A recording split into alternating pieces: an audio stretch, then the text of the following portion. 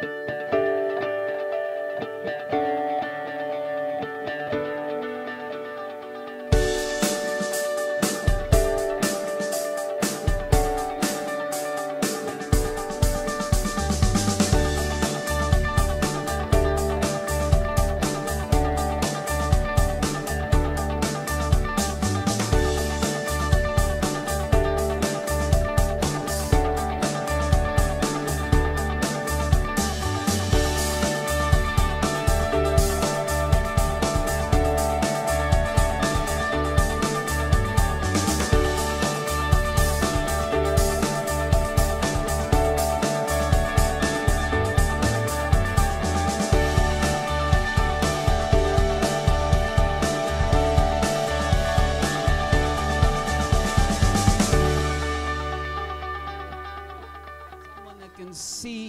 say that this morning that you've seen the mountains move this week. Amen.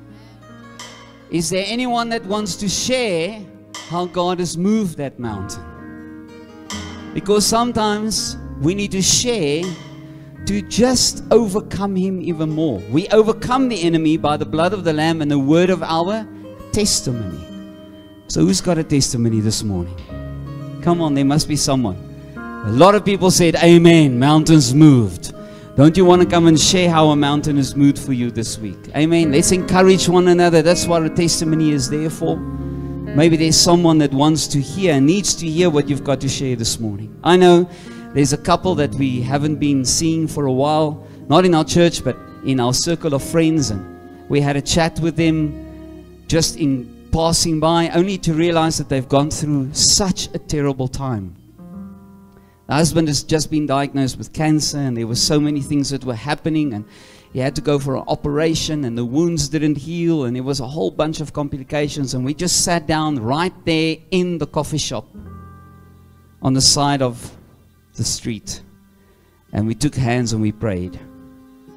And then the following two days, I just followed up with him, only to, for him to say that the wound is healing. Thank you for the prayers. The wounds are healing. I am getting better.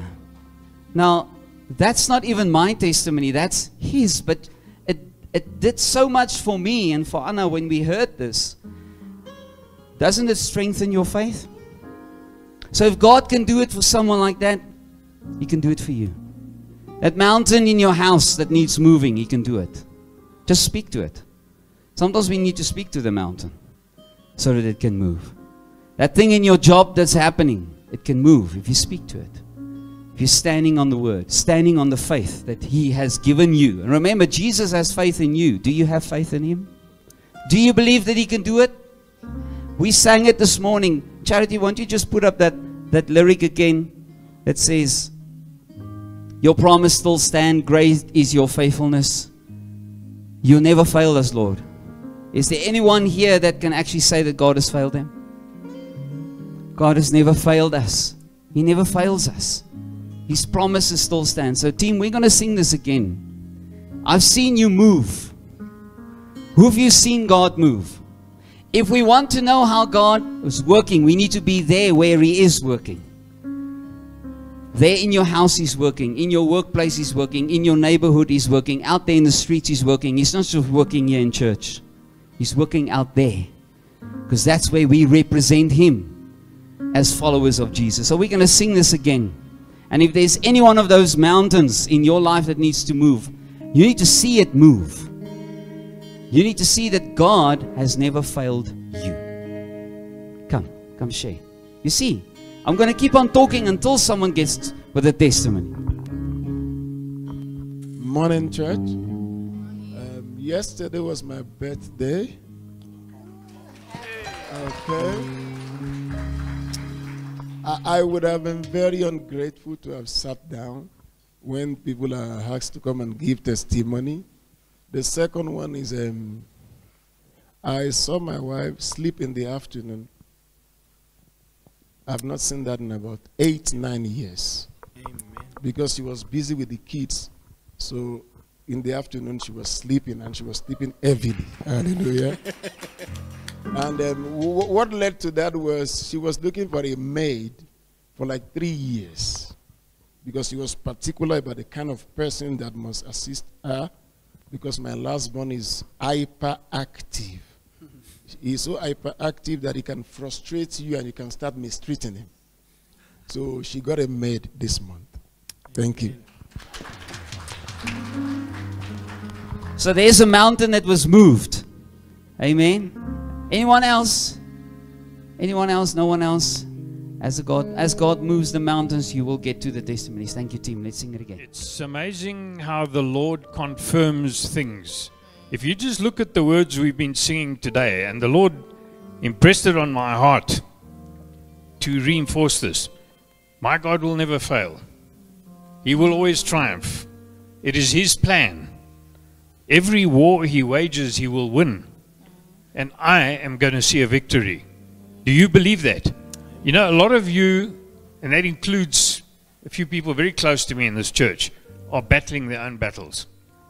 But we have to believe that God is in control and that we will see that victory. Amen. Thank you for that. While we were singing this song, I was just looking at you there from the back. And I want to share something with you this morning. Some of you have turned away from the battle. Some of you have run away, scared. I want to remind you of the story of David and Goliath. Where, was, where were the Israelites? They were on the battle line. They showed up. But no one was willing to step out. Not even Saul mighty king, biggest man in Israel. The Bible talks about Saul being so big that he stood head and shoulders above everybody else.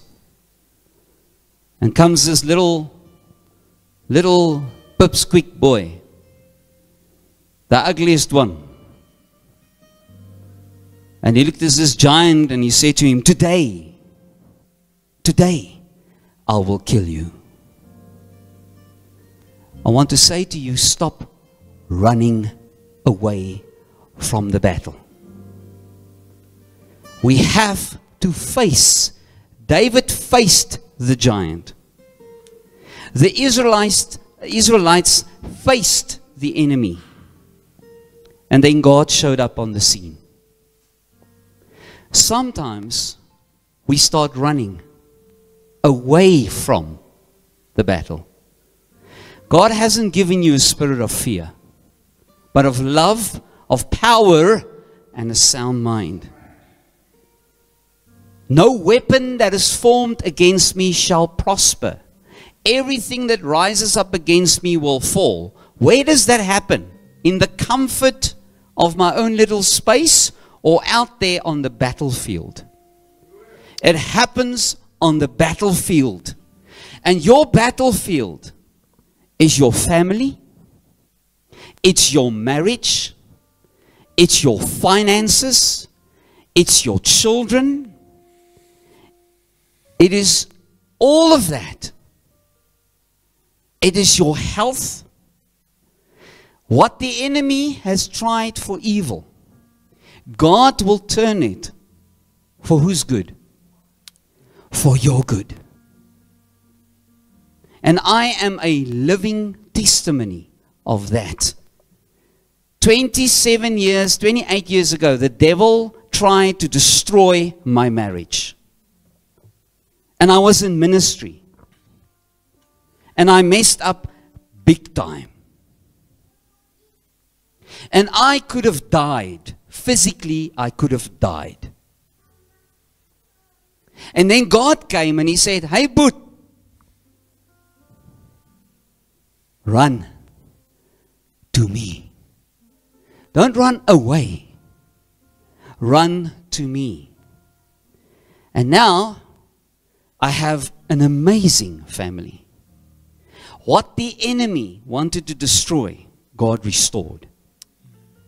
So much so that the impact that my wife and myself and even my two daughters have had in the lives of other people because we became a testimony of God's victory in our lives. Why are you running away from the battle? Stop running. I want to say to you, stop running. Whatever it is that you are busy doing right now, stop. Turn around and face the enemy and see how God will deliver them into your hand for your good. But there's something that you and I need to do. We need to speak the name of Jesus. Because in the name of Jesus, things are happening. There is still power. We sang it. There's power in the mighty name of Jesus. Every way, war that he wages, he will win. It's not you that's warring, it's him. And if we look at the cross, every battle has already been won. Every curse was already broken. Every sickness was already healed. It's all done. That's why Jesus said, It is done, it is finished. Klaar, verby, it's over. So the only thing that you and I need to do is surrender to that. But we have this question, and maybe it's just me, none of you. What if he doesn't do it? What if he doesn't change? What if? What if? What are you busy doing? We're busy running. Stop running from the battle. Show up in the battle line and see how God wins your battle for you. But you have to surrender. Some of us are very, in Afrikaans, we've got a beautiful word. I'm not going to use it. But it's got to do with you are hard necked, stiff necked people. Ons raak harde kwas in Afrikaans. We get hard. I won't do it. I'm a man. I won't do it. Men, stop your nonsense. Get to God. Woman, let go and let God have His way. Your finances are not working out. Why? Because you're trying to do it on your own. It's not yours to begin with, it's God's.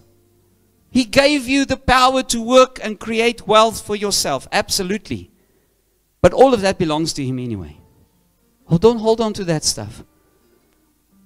Whatever we hold on to, we eventually, eventually lose. Don't hold on to it. Let it go. We've been busy with consecration. To come closer, move closer to God means I need to forsake all. I need to let it all go. Stop holding on. Face the giant. Speak the mighty name of Jesus. Stop what it is that you are doing that's not right. Remember last time or the week before, I said to you, I'm not here to tell you what you're doing wrong. You know that anyway. You know what you're doing wrong. I don't have to tell you that. But what I can tell you is that God is still on the throne.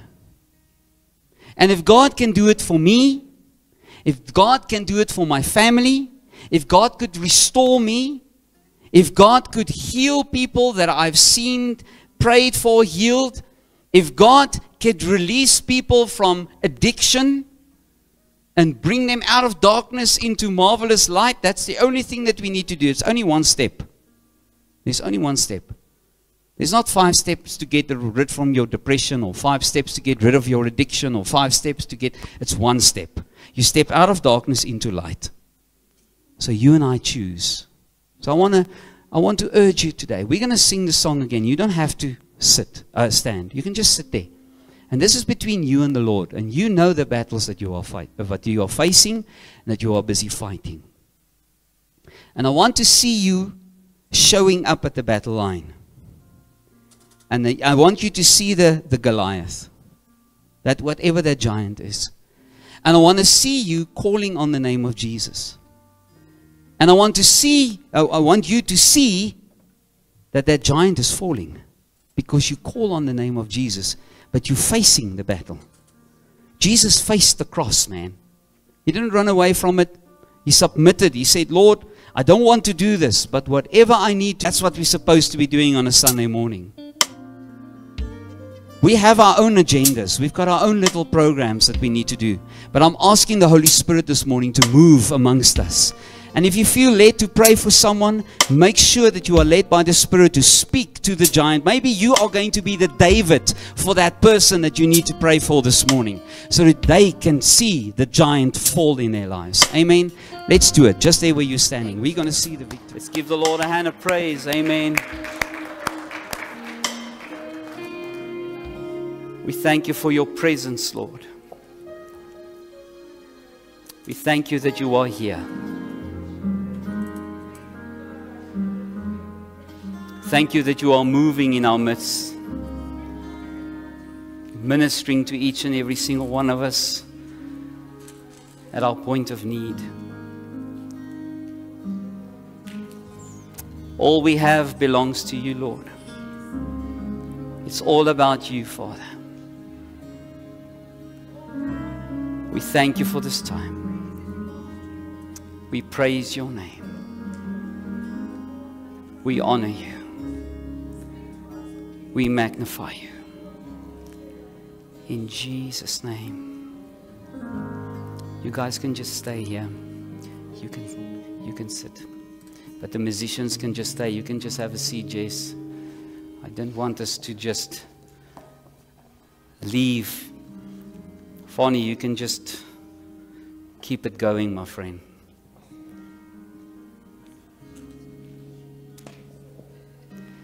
Turn to your neighbor and say to him or her, God's got a plan for your life.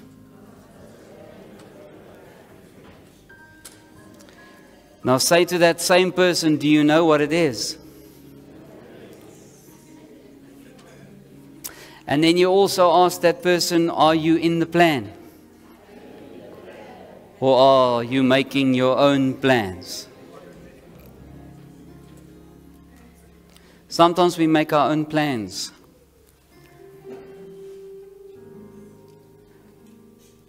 Sometimes we hold on to stuff.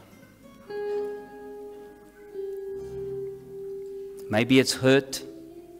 Maybe it's disappointment. Maybe it's real stuff. God is speaking to us and we're saying, No, no, no, Lord, I'm not ready for that yet. Come back to me in five years and we'll talk about it again. I want Vinanda, she's ready there. I just wanted to come and share something with you this morning that I think is very relevant to what it is that we've been speaking about over the past couple of months, basically. And I'm not going to share the sermon with you today. God is moving in a very special way amongst us. But there's a couple of things that I just want to, to share with you. And then we're going to come to the table of the Lord and we're going to, we're going to enjoy remembering what Christ did for you and me. Amen. So, Vinanda, come and share with us. The handheld is here in the front. And this is something that we hold on to so dearly. And but she's going to share the story with you from the Bible. So please share with us. Thank you. Good morning, everyone. Um, so, I'm sure we've all heard about the story when Jesus fed 5,000 people with five loaves and two fish. And he got it from a little boy. And that little boy gave everything he had to Jesus. Everything. He didn't give four loaves and one fishy. He gave everything. And we read it in Matthew 14 there about what 17 verse 17 and um,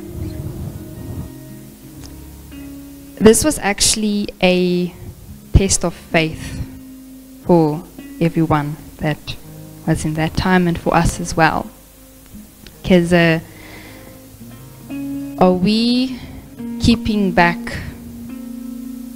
our time our talents our treasures um, our families, our children from the Lord, or are we willing to give that to Him? And uh, I just want to demonstrate you guys something simple but quite clever. So, can I have a volunteer? It can be anyone. Phone, okay. me. okay. so, how many corners does this paper have? Four. Okay. I'm playing card, and you are the little boy. What I want you to do is, I want you to cut off a corner and give it to me.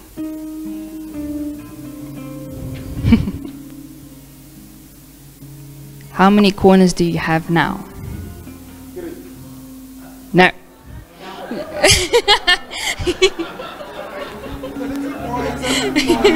Count. How many corners do you have? One, two, three, four, five. So this is this is his time that he's giving to Jesus. You're the little boy. Okay. Now cut off the next corner. And this is let's say your family or your children. How many corners do you have now? Six corners. Okay. The next one. How many? Seven.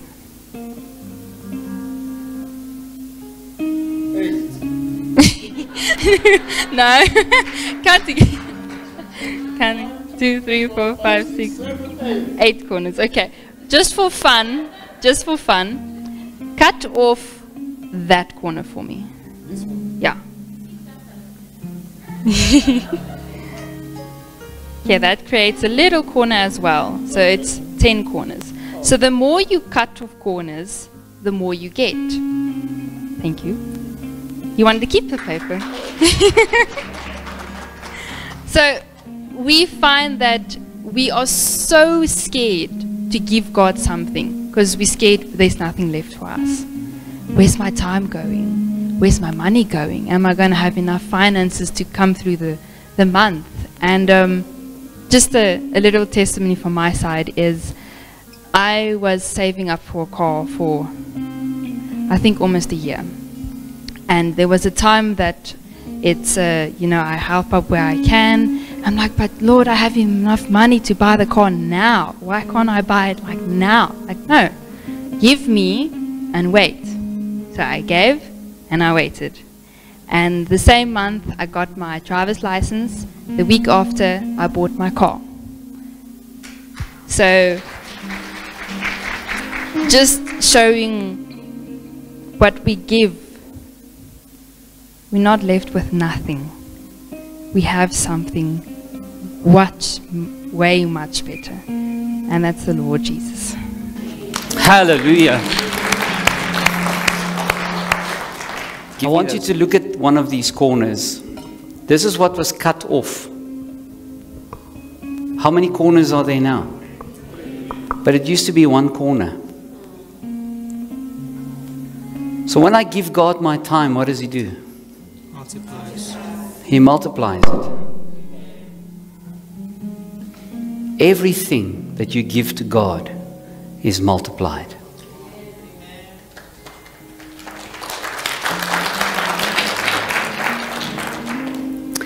I gave her to God when she was a little baby. And look what God has done in her life. He's multiplied.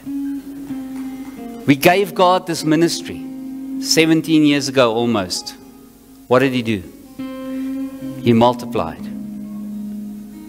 When I look at the church's finances, every month we make budget. Our income doesn't say that. But what does He do? He multiplies. That's the God that you serve. Come on, man. Are you excited about it? We said that God has got a plan for your life. Now, when this church was built many, many years ago, they also had to draw some plans. And it's amazing to come across these things because some of them were actually drawn up in 1964. This church was established in 1957. And this is the plan. Look at this. The church that you are sitting in today started with a plan. And you can come and have a look at them. And there's a plan, an overhead plan for the building, where the building is going to be, and how the parking is going to be put out. And they even put in some trees. And there's the storeroom and the, the toilets and and then the proposed new building. This was before they uh, built the, the hall at the top with Pastor Kleinhans all those years ago. They were still proposing the plan. And then they actually drew the plan for the hall. And this plan, if I'm not mistaken, was drawn up in 1977. Yeah. No, 78. 21st of, uh, 21st of uh, February 1978. Did it go according to plan? Is the building standing? Come on, guys, is the building standing? Okay. Why is it standing? Uh, yes, there was a firm foundation, definitely. But what else? Why did? Why is this building working? Because there was a plan, and the builders followed the plan. Okay, and then we came to the ministry around about 2007 and 2008, and then we had to redraw some of the plans of the church. Look at this. And then, because Pastor Mike and myself, we've often been talking about what's going to happen when we need a bigger church. So we even started thinking about that. And there's some plans here for that even as well. 2008, 2007. Now, some of this hasn't realized yet because we're still waiting for you to make disciples so that they can come and join us in our family of faith. But this is the plan. If we want to go to where it is that God wants us to go, we need to follow His plan. Jesus said, If you want to follow me, you have to forsake everything. You have to leave it all behind and follow me. We, we shared the story about the rich young man that couldn't do that. He was sad because he had so much wealth and he, he did all, he, he was holding on and he was doing all the commandments and following everything in the law and he was a perfect example of a wonderful Christian. But when Jesus said to him, Sell everything you have, give it to the poor, and follow me, he went away sad because he was holding on to stuff. God had a plan for him. He decided no. And then we were talking about people that you have to, he that doesn't hate his mother, his father, his brother, or his sister is not fit for the kingdom. In other words, we must love him more. That the love that we have for him, in comparison with the love that we have for people, that love actually looks like hate. It's not that I'm hating them, it's just I don't love them as much as what I love God. That's what his disciples did. Those two things were commanded to you and me. But then there's a couple of other things, and I just briefly want to touch on this. Might, some of the scriptures might appear, some of them might not, because I just want to remind you about God's plan. God's got a plan of ev- for every single one of us in this church. Some of us are following the plan, some of us have deviated from the plan. Some of us have never ever thought about maybe even getting into the plan because it doesn't fit my plan. Because that is scary. So I become fearful, and fear will rob me of my faith. And then I end up doing everything I want to do and nothing that God wants me to do. So we can talk about that as well. But there's, there's three things that I just want to tell you that this thing is going to fall off. Who of you have children? Come on, let me see your hands. Okay. Do you know that your children speak like you? Do you know that? Your children hopefully also look a little bit like you. Okay, thanks, Femi. I'm glad to hear that. Lo and behold, in my case, your children will even start driving like you. So some of you are driving maybe not so well. So maybe change your driving because your kids will drive like that too. The way you handle your finances. Your children will also handle their finances like that. Why is that? Because you model the way as a parent. When you're in a job environment and you've been working for a company for many, many years and you're in a position of leadership maybe, and a new person is appointed, the boss might bring that new person to you and say to you, please show this person the ropes, get them going. Why? Because you know what needs to be done. Isn't that so? So you end up modeling the way to the new employee. They will do as you do. They will follow what you do, all of that, because you've been doing it for so many years and you're still around. So there are three things that Jesus also modeled. And if you and I want to be a disciple, it means that we have to be like Christ. Isn't that so? We have to be Christ like. Isn't that where the word Christian comes from? Is to be like Christ. When I become a disciple, I become like him. So if we read that scripture of So Luke 6, that- verse 40, you can put it up there just quickly. It says, A disciple is not above his teacher, but everyone who is perfectly trained.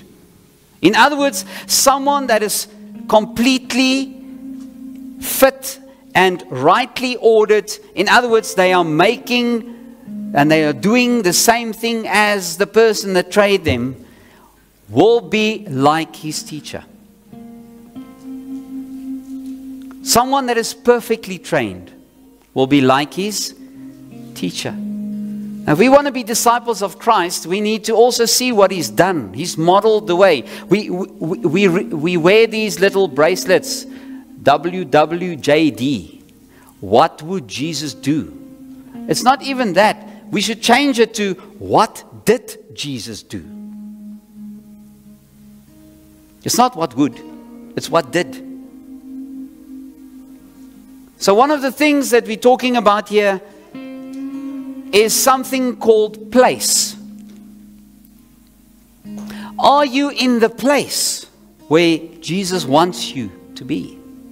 And when I'm talking about place, I'm also talking about where you live, where you work. So, what are you going to do when God says to you, I want you to move? Maybe He's going to say to you, I want you to move to another country. Some of you have done that. Maybe He says to you, I need you to move to another job environment. Isn't that what Jesus did? Where did He come from? Where did Jesus come from? What is Jesus' idea of a place?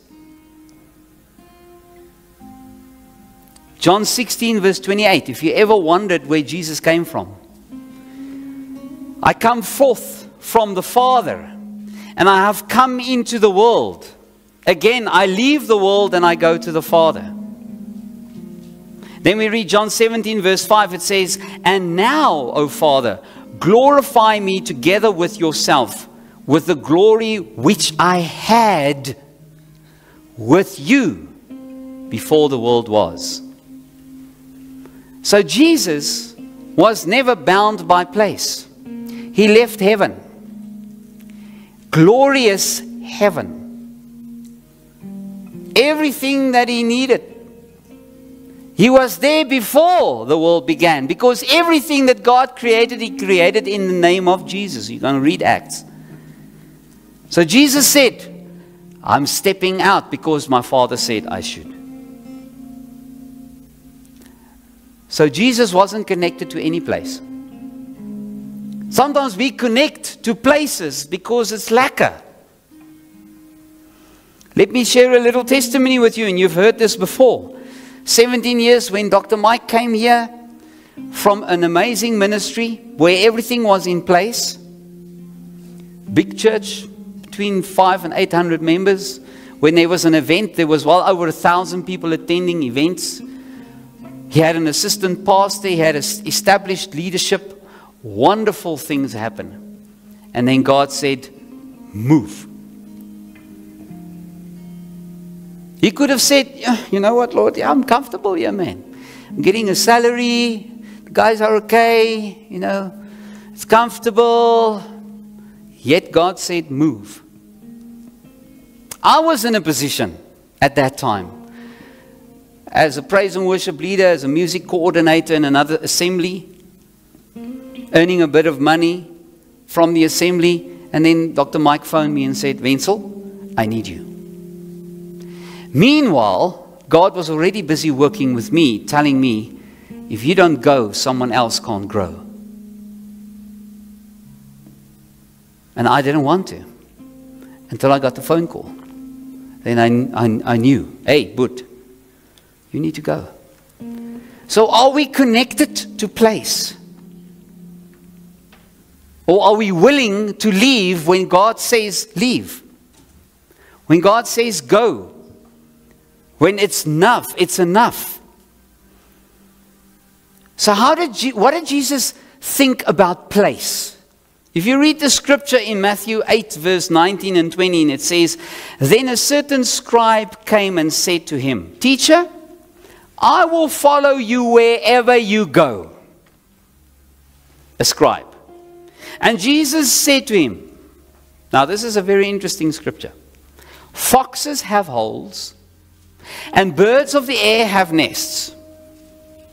But the Son of Man has nowhere to lay his head. What does it mean? It means that Jesus isn't connected to place. The guys that did the course yesterday with us on Friday survey of the Bible, when we spoke about the movements of Jesus, can you still remember? Capernaum and Bethany and Jericho and Jerusalem and Berea, and he was all over the place. He never had his own place. He went where his father sent him. And he stayed in other people's houses. Yeah, Wenzel, but that's Jesus. I'm not Jesus. No, no, no, I'm not saying that. But what will you do if he says to you, leave Joburg, go and live in Welkom? Some of you don't even know where that is. Or Pit sonder waterfontein. Or there's a beautiful name, twee buffels met een skoot mors doodgeskiet fontein. That's a station, by the way. there is such a place. what would you do? So, when we've made the decision to follow Jesus and to become a mature disciple, what is our theme for this year? Follow Him. So, what does it mean? Where you go, I go. Where you lead, I'll follow. Do we really do that? Because it's a little bit emotional. Jesus never commanded this. He never commanded this. He never said, You need to. But He modeled the way, like you and I model the way to our kids. So, place is a very important part. If you look at what happened with Philip and the guys from yesterday, you guys remember Philip? Philip was the first. Hey, Jade, Jay, uh, Jane, what was Philip again? He was the evangelist, right? And he got the ball going. What happened to Philip? Jesus spoke to him, or the angel spoke to him in Acts chapter 8, verse 26 27. Now an angel of the Lord spoke to Philip, saying, Arise and go towards the south. Okay, towards the south. Okay, that, that, that's quite broad along the road which goes down from Jerusalem to Gaza. This is desert. It's a desert. So what did he do? What did Philip do? No, he went to fast for two weeks. He went on fasting. He phoned his pastor and said, Pastor, please pray about this. The angel of the Lord told me to go to the south, but there's a desert. We have to fast about this. Is that what Philip did? Philip was busy with a big crusade where he was at the time. He was an evangelist, he was preaching the gospel.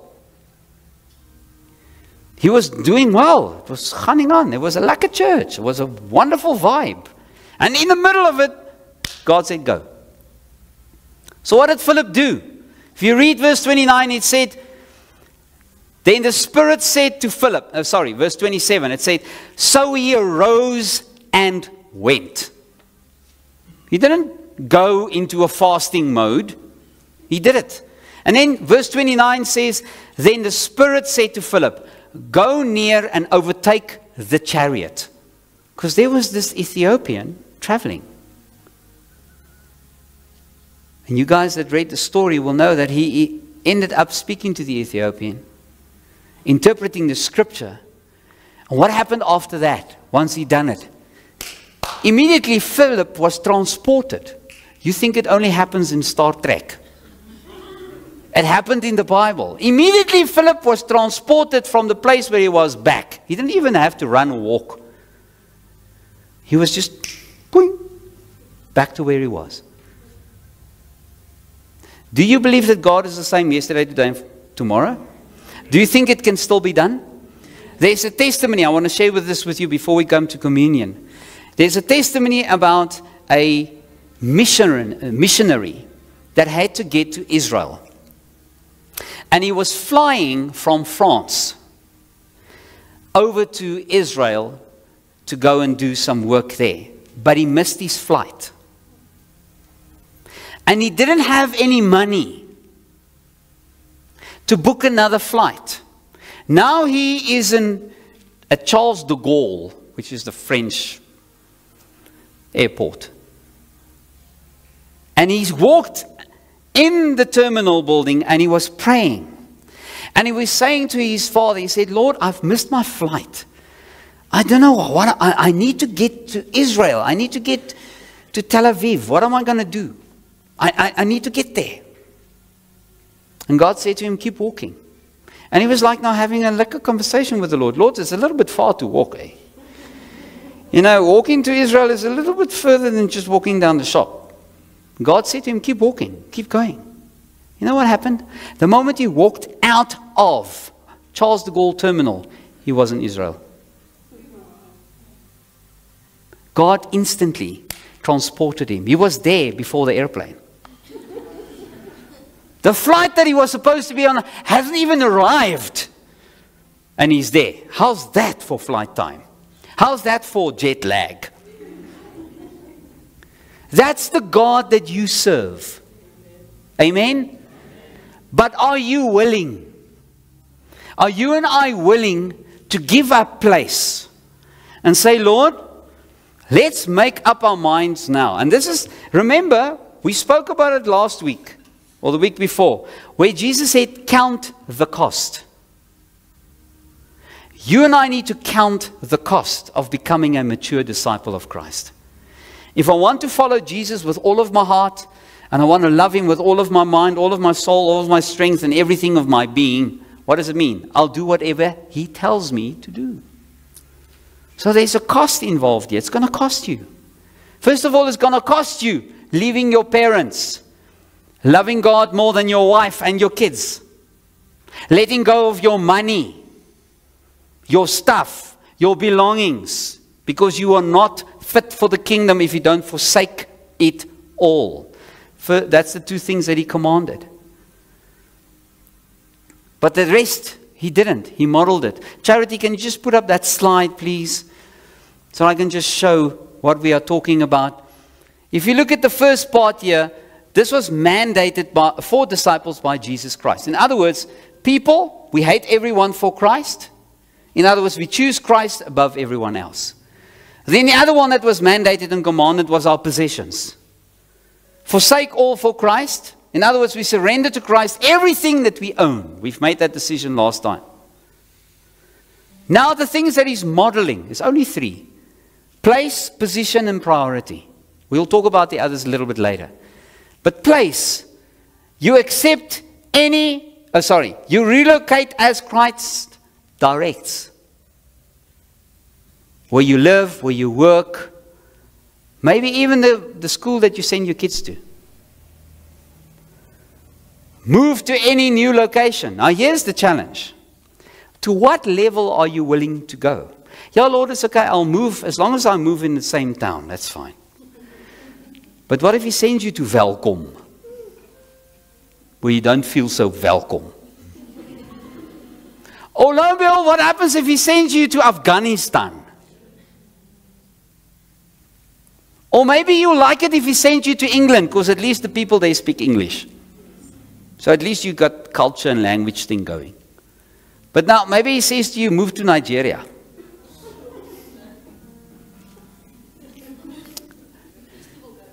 I know Femi will go. But God won't tell him. What if he says, I want you to move to Iraq? move to Iraq. Can you see where we're going with our relationship with God? It's not just a superficial thing anymore. That's why you and I have to count the cost. So when we get to consecration, and when we speak about consecration, the most, the biggest act of consecration we ever saw was Jesus Christ. Amen? He left heaven, He came to earth. He went to the cross. He had to sit with all of the nonsense of the disciples. Because they were full of nonsense sometimes. And the unbelief of people. And the ridicule of the church. The Pharisees and the Sadducees and all the other sees. But yet he said, Not my will, but your will be done. So here's the challenge for us as a church for us as individuals, as people of the Lord, who calls ourselves, we call ourselves Christians. Are we willing to do what He tells us to do? No, Lord, the pastor must do that.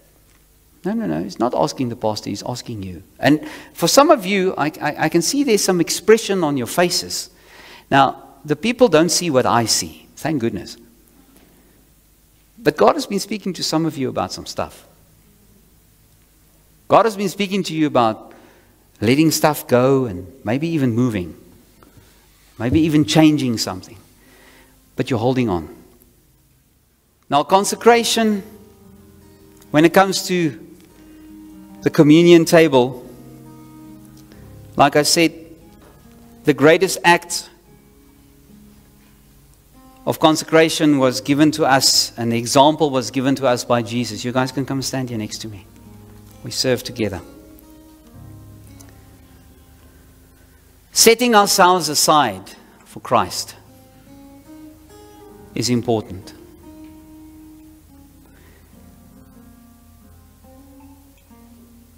As we commit ourselves to God and we take this communion, communion reminds us, because Jesus said, Do this in remembrance of me. What did Jesus do? He took up his cross and he did whatever needed to be done. So when you and I say we are eating of this bread and drinking from this cup, we're doing it in remembrance of what Jesus did. It means that I will also take up my cross. And remember, that's a scripture, one of the scriptures that we also read. You must take up your cross and you must follow me. And remember, when we spoke about cross, when Jesus was carrying that cross, nobody, nobody wondered what he was doing. Nobody was, what is that guy doing? Is he stupid or what? Why is he carrying that piece of wood? Is he not lekker? Everybody knew when somebody carried the cross, they were going to die. There was no there was no wondering what if this is going to happen. So when you take up your cross and people look at you, what do they what do they see? They see a surrendered life. I see you surrendering to the leading of what God wants you and me to do. There's no discussion, there's no wonder of what if. There goes someone that's following Christ because I can see the cross. And that's why Paul could say, say to the church in Corinth, and we spoke about the Corinth church yesterday, where he said, Imitate me as I imitate Christ. Follow me as I follow Christ. How many times have we said as parents to our kids, Don't do what I do, do as I say? Haven't we done that? No. Your kids will do what you do. So, are you and I doing what Christ wants us to do? So, the Lord Jesus, on the night that he was betrayed, he took the bread. And obviously, there was also a washing of feet happening. Thank you, ladies, for doing the communion table. I really appreciate it. We don't always give thanks, but thank you for that. He took the bread and he broke it. He obviously gave thanks. He broke it and he said, This is my body which has been broken for you. And then they had supper together. And after supper, it was custom to also have a bit of wine because the water that time wasn't so good, eh? So he took the cup after supper and he said, This is the cup of the new covenant.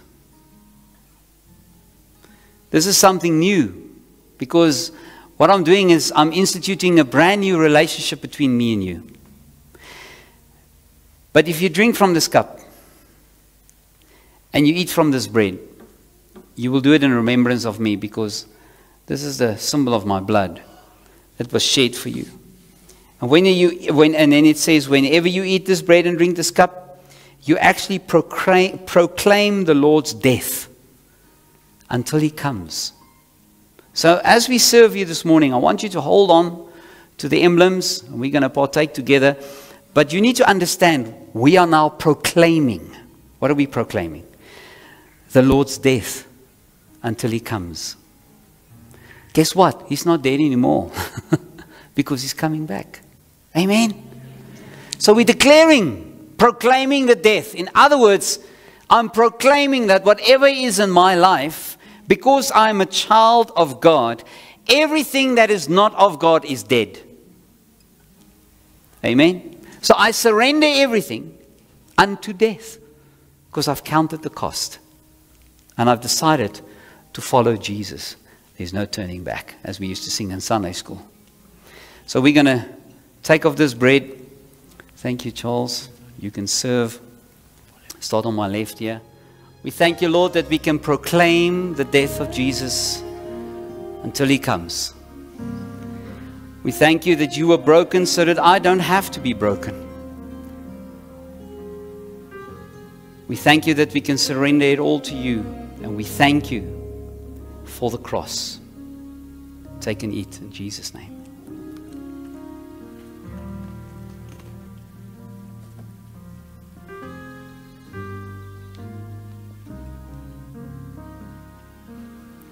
Father, we thank you for the blood.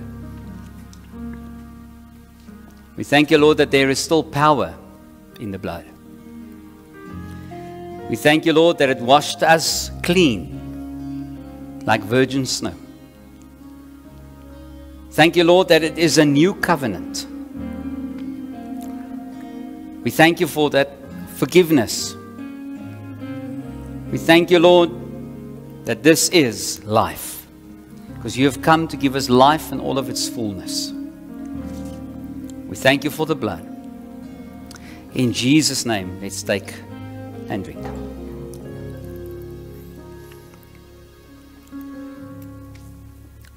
Let's just pray. Father, we thank you for this morning. Holy Spirit, we thank you for ministering to us this morning. We thank you, Lord, that you that you were here. We thank you, Lord, for meeting our needs. We thank you, Lord, that we could just bring you glory and give you honor. We thank you, Lord, that we can even give to you as you've given so much to us. We thank you, Lord, that we can see multiplication when we give. Because we give from our heart with joyful and gladness, not out of compulsion. And Lord, we're not only talking about our money, we're talking about us. We give ourselves. That song says, We give ourselves away so that you can use us. You can multiply the little bit that we can give to you. Because in your hands, everything is possible.